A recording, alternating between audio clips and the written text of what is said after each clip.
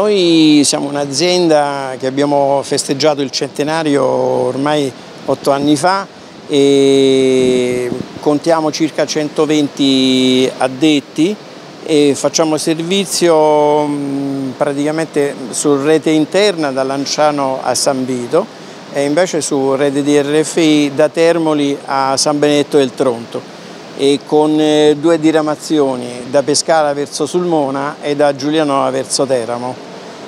E la tua mh, ha un parco di veicoli mh, attualmente di eh, sei mh, macchine praticamente recenti eh, sono dei minuetto Alstom con 144 posti a sedere e due automotrici termiche ALN 776 della ex Fiat Ferroviaria che lavorano in supporto delle prime, sono macchine elettriche. E, mm, diciamo, il nostro parco siamo in, in fase di eh, acquisizione di ulteriori due macchine con una capienza praticamente doppia rispetto a quelle del minuetto. E arriveremo circa a 300 posti macchina e sono l'evoluzione del minuetto, quindi sono sempre i Coradia del, dell'Alstom.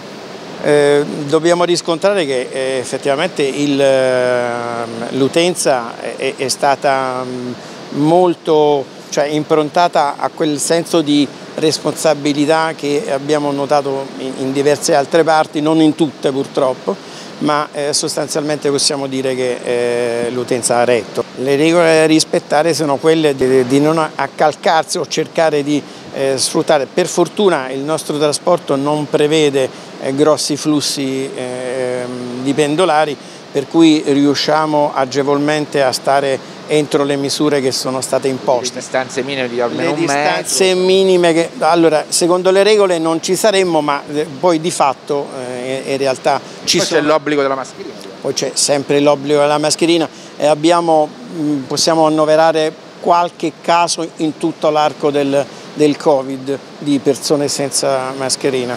Poi eh, ci sono la sanificazione dei mezzi. Poi la sanificazione dei mezzi che avviene a ogni fine turno è, è, fatta da, da personale specializzato, ma è fatto anche ogni volta che la macchina rientra in officina eh, da parte del nostro personale, per cui sul um, discorso sanificazione non c'è stata nessuna falla, nessun buco, nessuna interruzione, ma eh, il protocollo è stato osservato nel pieno rispetto di come è stato emanato.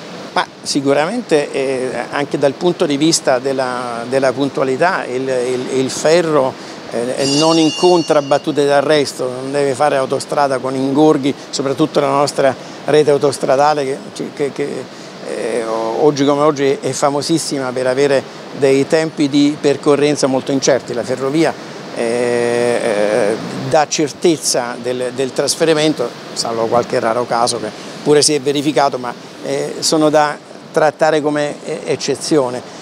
E, poi il, il, traffico che è andato via via aumentando eh, vuol dire che beneficia del, della sicurezza, della, della tranquillità che un trasporto ferroviario può dare rispetto a quello su gomma eh, e soprattutto no, non ha inconvenienti di sorta tranne che, ripeto, piccole e pochissime eccezioni, ma sono nel, nella norma. La flotta stiamo, la stiamo potenziando acquisendo due nuove macchine con una potenzialità eh, più che doppia di posti eh, offerti, due macchine più lunghe di circa 84 metri, e continueremo a fare le lavorazioni nel deposito, quindi anche il nostro interno e le macchine saranno eh, comunque per, per ragioni logistiche evoluzioni delle, delle attuali. Come si chiamano? Eh, è della serie Coradia, Coradia a quattro casse, sempre della Alstom, circa 300 posti a sedere, quindi rispetto ai 144 degli attuali Minuetto eh, sono eh, sicuramente una cosa. E questa cosa mi permetto di dire che va in linea con le aspettative eh, della politica che insomma, intende riaprire eh, da Archi verso il mare. Eh, ecco, parliamo di questo importante. Sì, eh, c'è tutti noto la, la, la, diciamo la, grossa aspettativa del, anche del nostro Presidente di Regione che ultimamente a luglio, come c'è stata una presentazione della nostra controllata, ha eh, fissato quelli che sono gli obiettivi per il trasporto eh, locale e ehm, eh, ha, ha, dettato praticamente il, il, il cronoprogramma degli interventi e questo nostro intervento è proprio in perfetta sintonia con questa. Proviamo a spiegarlo meglio dove si trova Archi, perché è importante. Archi praticamente è, è il, il, retroposto, se volete, la, la, il centro più importante eh, diciamo alla, alla, zona industriale, nei prossimi della zona industriale di Val di Sangro, che è la zona che eh, realizza il maggior PIL della, della regione Abruzzo praticamente e, e quindi è, un centro mh, molto popoloso, è mh, un centro che ha raccolto le necessità di tutto il, il, il, il settore eh, del, dell'indotto della, della, Sevel stessa e quindi eh, oggi per acquisire un, un prodotto di, di, mercato bisogna rivolgersi, un prodotto industriale ovviamente, bisogna rivolgersi in Val di Sangro. E, e quindi, quindi questo nuovo collegamento come funzionerebbe?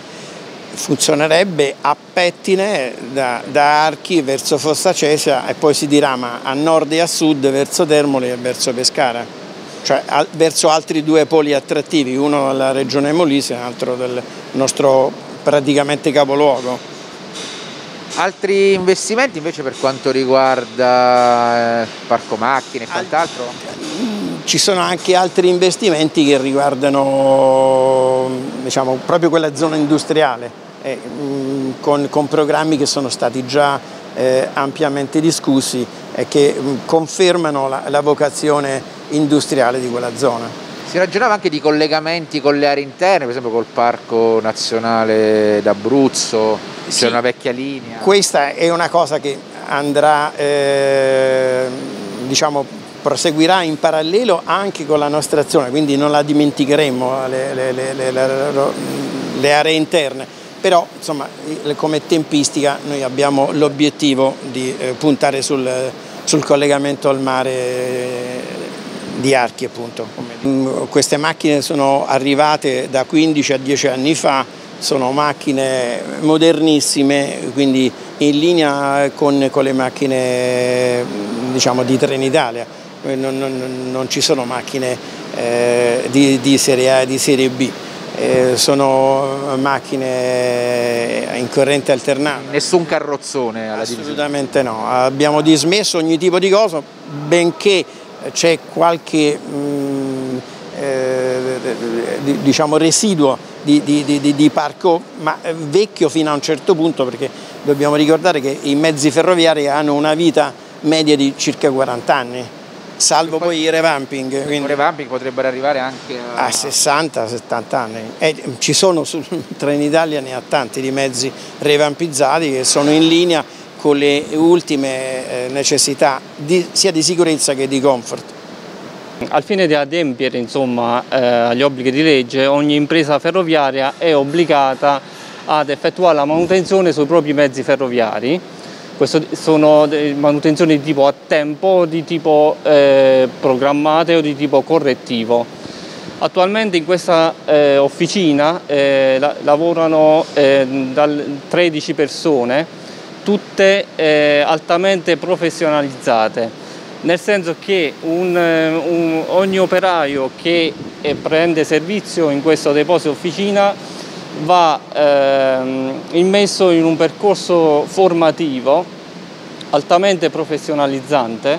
Ehm, questo percorso formativo prevede eh, la, um, un corso eh, teorico-pratico e alla fine del corso teorico eh, l'operatore viene valutato da una commissione esaminatrice eh, il quale rilascerà l'abilitazione ad, opera ad operare sui mezzi ferroviari. Perché tutto questo? Perché comunque eh, l'Agenzia Nazionale eh, vuole che ogni operatore sia in grado di operare in maniera autonoma e comunque che eh, siano raggiunti quelli che sono gli standard minimi di sicurezza ai fini della circolabilità dei, dei, dei nostri veicoli ferroviari sulla rete nazionale. Le manutenzioni vengono effettuate o a chilometro, quindi abbiamo diversi tipi di manutenzione a chilometro, ogni 12.000, ogni, ogni km c'è una sorta di tagliando. Di tagliando, così come eh, avviene per le autovetture, avviene anche per un veicolo ferroviario. Eh, cosa importante, qui vengono effettuate quelle che sono le manutenzioni correttive, quindi su guasto. Eh, abbiamo mm, il nostro personale ripeto, altamente specializzato ad intervenire e a risolvere qualsiasi tipo di problematica. Nota importante che voglio sottolineare è che Attualmente questo presidio manutentivo eh, è autonomo per quanto riguarda la, la, la manutenzione sia programmata che correttiva. È completamente autonomo senza fornirsi di, eh, di un supporto esterno, quindi eh, va dato atto ai nostri operatori di comunque essere sono molto esperti e professionalizzati. Sanno fare tutto, sanno non fare serve. Tutto, sanno fare tutto e, e nella cultura ferroviaria insomma, eh, che ci trasciniamo oramai da, da 100 anni è quella di comunque fare eh, in qualsiasi, eh, fa, cioè rendere eh, la, la, la, il servizio il più omogeneo possibile, quindi ehm, affrontare e risolvere ogni, ogni problematica legata al servizio di trasporto pubblico locale di Tua.